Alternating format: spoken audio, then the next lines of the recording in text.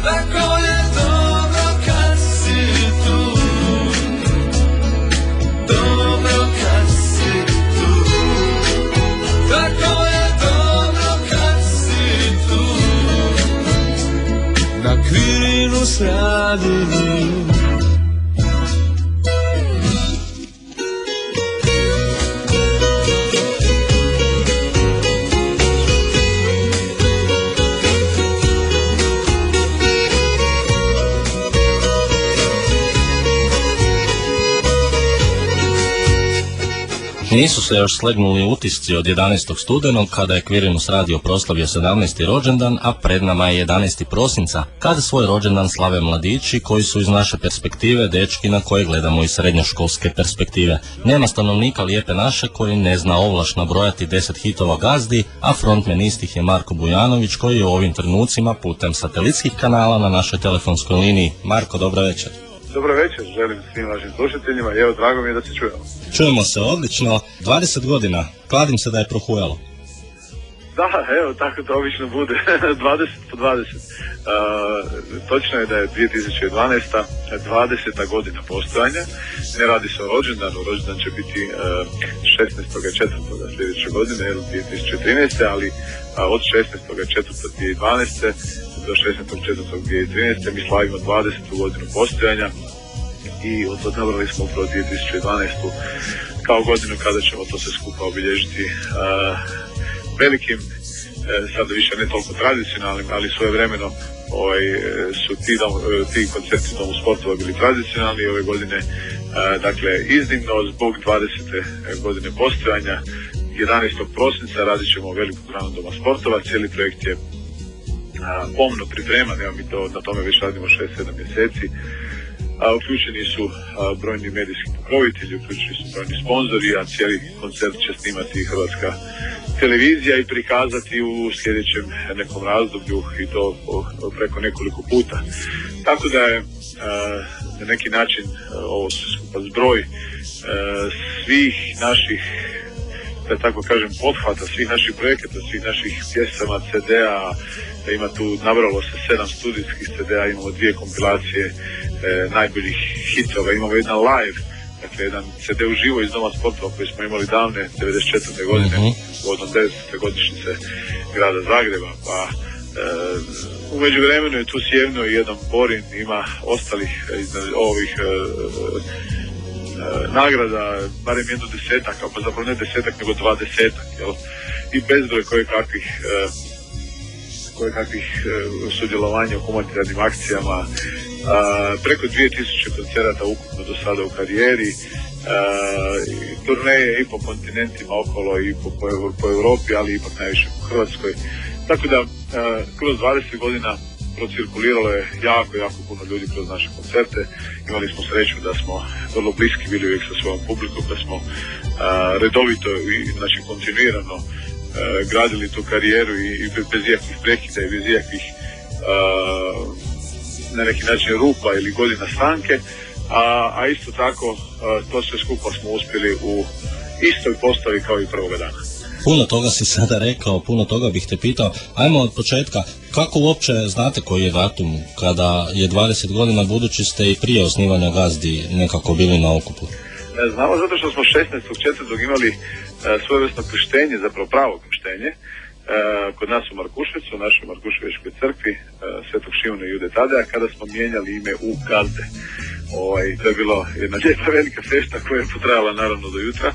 Nakon toga a, i to je bilo vrijeme kada smo taman počeli raditi neke autorske pjesme a, i vrlo skoro nakon toga, mislim da nekoliko mjeseci nakon toga što smo promijenili ime u Gazde, smo već a, snimili zbog tebe sam to što jesam i pojavili se na prvom festivalu u Požegi a, 93. godine, jel, tada to bilo. od onda je puno toga poznato, ja sam u masu situacija već ovako medijima bio izjavljivao kako gazde zapravo postoje od uvijek u ovom sastavu, jer smo mi inače svi ista generacija iz škole, uh, iz osnovne škole Markuševec ovdje u Zagrebu, tako da smo uh, se družili zapravo tokom cijelog osnovne škole, ali smo počeli zajedno ići na tamburaški tamo negdje u trećem, četvrtom razredu i od onda, ajmo tako reći, sviramo zajedno. Ne? No, međutim, evo, od, može se slobodno reći, od 93. godine, od imena Gazde, su stvari koje su, ajmo tako reći, vrijedne pažnje ili, ili ono po čemu naš ljudi, ljudi znaju, pa eto, to je od, zbog toga sam to što jesam, do dna duše, snaša kao snaša, što sam Bogu skrivio, pa onda nekoliko godina nakon toga snimili smo e, za ljubav tvoju, e, još i danas za miriše trešnja, ja pijem da zaboravim. A, par godina nakon toga e, bilo je e, Osterić, ja, Osterićiš ti, pa Vazda, Gazda, pa ne mogu ti reći s Bogom, pa recimo onda par godina nakon toga opet e, bila je ova stvar s Bogom za Zbogom. To, sve, to je sve nekakav kontinuitet gdje smo mi svakih nekoliko godina izdali po nekoliko hitova koje sviramo naravno i dan danas na svim našim koncertima da bi evo sad zapravo završili i da bi zapravo možda čak i jedan dio povoda ovako velikoj fešti, ovako velikom broju koncerata koji inače radimo bio i album a, Milijun poljubaca gdje smo uz Antoniju Šolu pa evo kasnije nešto i uz Vedranu Vukojević opet, da tako kažem, došli na top liste a, i gdje smo se opet aktualno, kako bi se reklo, približili publici. Sjećaš li se te 93. i očekivanja od nastupa? E, na, na festivalu. A, znam samo da na nijednoj Požegi nisam znao dobro tekst. Uvijek sam se grlo to bi bile nove pjesme koje nisu bile puno usvirane, a to je bio naš prvi jedan od prvih televizijskih, ako ne možda i čak i prvi televizijski nastup. Naravno da je bila trema velika i naravno da je bilo sve skupa E, mi smo tada kao nekakvi e, 18-19 godišnjaci stvarno u to sve skupa gledali kao u, u, u, u veliku paradu i nešto zapravo vrlo veliko a evo stvari su nakon toga išle nizale se e, strmoglavo prema gore tako da da smo se morali vrlo brzo naučiti na eto, na veliki broj koncerata, na, na brojna putovanja i na, na sve to što nosi e, ovakav život. Jel? Milijun poljubaca album koji ima čak 18 pjesama. Znaš li koja je poveznica sa Siskom na tom albumu? Uf, teško mi sada reći, malo sam iznenadio sa pitanjem, ne mogu se sada, ne, ne prolazi mi ništa kroz glavu. Giovanni Furlan. A Giovanni, joj, pa stvarno, da, da, da. Međutim, kad čovjek pogleda ovaj album, impresivna su imena. Miroslav Škoro, Momčilo Bajagić, Denis Dumančić, Saša Lošić, Željko Krušlin. Gdje ste okupili tako krasnu ekipu autora? Mi smo e, nešto od toga što ste nabrojali su i bile neke obrade koje smo mi radili, i, znači i postojećih pjesama. Mhm. A, dosta je bilo i autorski, evo Antonija je radila čak pet e, pjesama na tom e, CD-u. A, sve koje ste spomenuli su sve stvarno autori koji su dokazani kroz brojne hitove. Sa mnogima njih smo već i prije znali surađivati. Naš inače, naša inače koncepcija kad radimo god nešto novo, onda okupimo te stare mačke, kako bi se reklo, ovaj, koji znaju napraviti dobru pjesmu, onda im kažemo da mi planiramo raditi, da neka, neka se skoncentriraju, neka nam nešto priređe od svega toga, a onda imamo jedno, nekoliko mjeseci probe, prčkamo po tome, mijenjamo, snimamo ih brže, sporije, mjesimo ih na sve moguće načine. E, najčešće 90% pjesama moramo odbaciti i, nam se Inače, vrlo je teško naći dobru pjesmu vrlo je teško pogoditi pjesmi pravi, e, pravi aranžman i da ona stvarno prodiše kako spada, jel?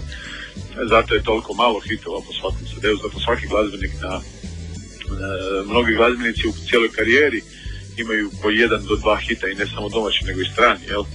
Ovaj, tako da ova nekakva naša lepeza od 5, 6 ili 7 stvarno poznatih hitova ovaj, moramo, moramo biti zadovoljni s tim i duboko smo uvjereni da će i ovaj dom sportova kojega promoviramo ovaj, ovom kampanjom a, sada u ovom krajem 11. i početkom 12. mjeseca vjerujemo da će e, biti stvarno jedna vesela i, i urnebesna atmosfera karte se prodaju jako dobro, inače evo kad sam to spomenuo mogu reći da se karte za koncert po cijeni od 65 kuna e, prodaju u sustavu eventima ovaj, na njihovih preko 300 prodajnih mjesta, mjesta u Hrvatskoj, a i, i može se kupiti preko interneta na eventim.hr.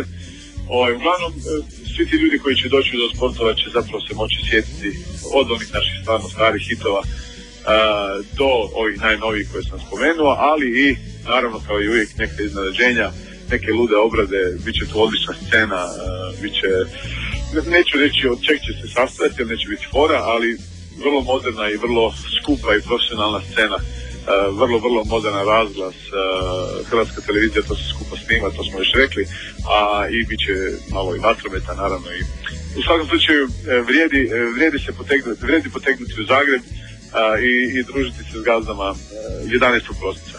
U koliko sati je koncert? U 8 sati na večer. Mislim da će brojni slušatelji iz naše županije se uputiti put Zagreba. Hoće li biti neka obrada stranih hitova? Vjerujem da hoće. Pa, evo, Aha, ni to nećeš reći. neće izostati iznenađenja, da tako kažem.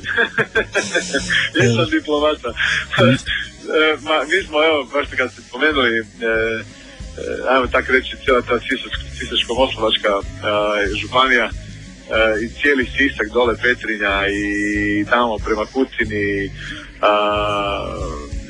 sve su to dijelovi gdje smo mi jako puno svirali, gdje stvarno imamo jako puno svoje, svoje publike.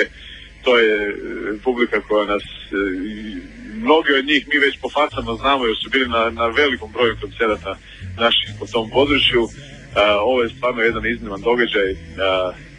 Velika dvorana Doma sportova pruža jedan poseban dojam e, biti zajedno sa toliko puno ljudi na jednom mjestu, e, to se stvarno jako lako stvori jedna pozitivna euforija, tako da sam siguran da ćemo ovoga puta već stvarno u jednim zrelim sviračkim godinama moći publici priuštiti jedan nezaboravan doživljaj.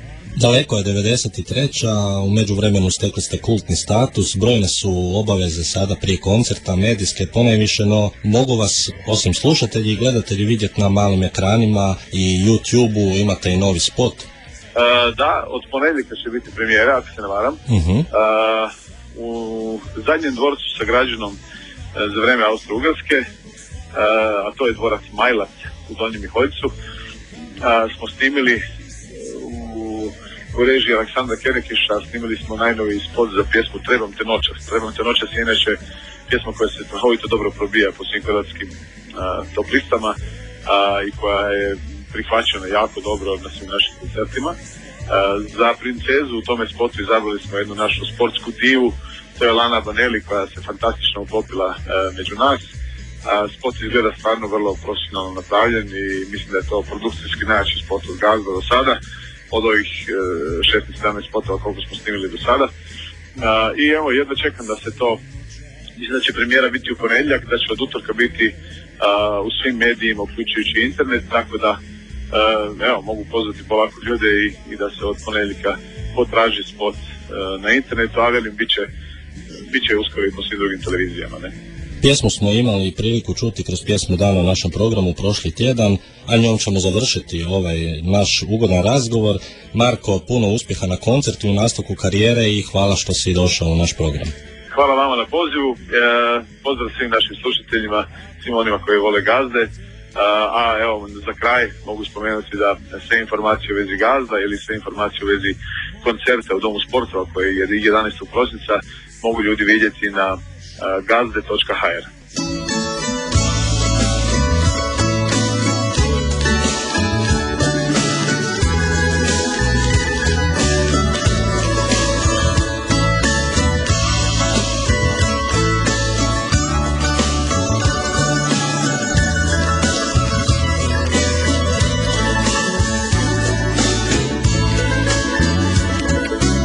Evo noćas opet tugujem.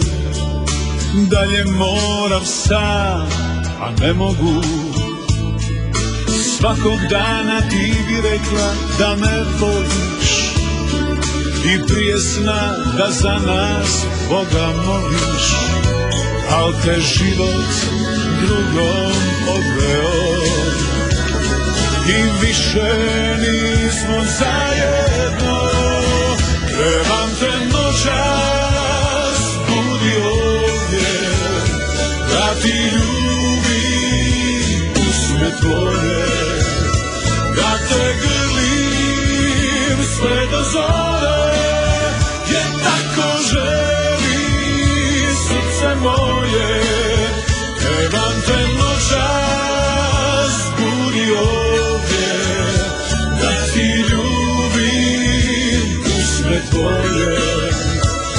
te grlim sve do zore, jer tako želi srce moje.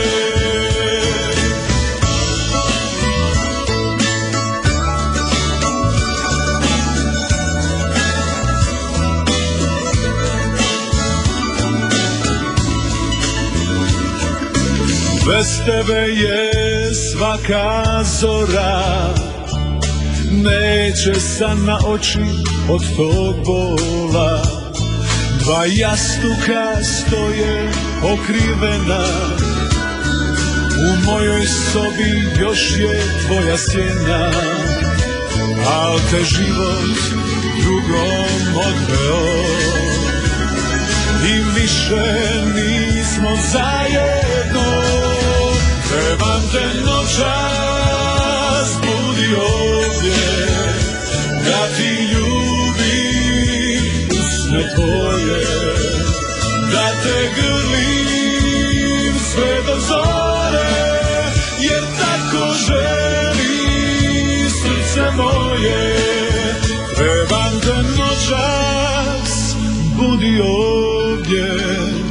da ti ljubi usne tvoje. Da te grlim sve do zore jer tako želim